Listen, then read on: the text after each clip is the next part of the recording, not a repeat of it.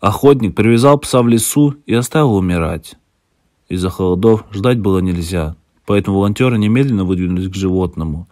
Была глухая ночь. Больше часа люди проводили в тьме, добираясь до склонной горы неподалеку, где, по слухам, находилась собака.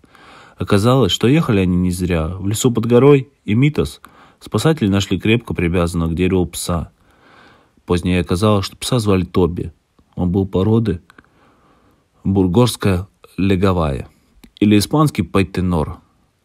Тоби верно служил своему хозяину, пока не состарился. Когда человек понял, что животное начинает сдаваться, то хладнокровно решил избавиться от бедолаги, без вмешательств спасателей. На зимний холоде несчастный долго бы не протянул. Тула уже могло не быть. Волонтер дали животному новое имя, назвал его Тул, что в переводе с английского означает «инструмент». В конце концов, именно инструментом был пес был для своего прежнего владельца.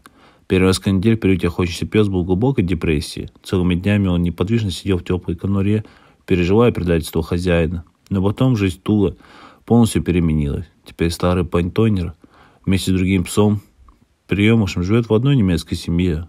Каждый его день полон душевного тепла, он играет с друзьями, сладко спит.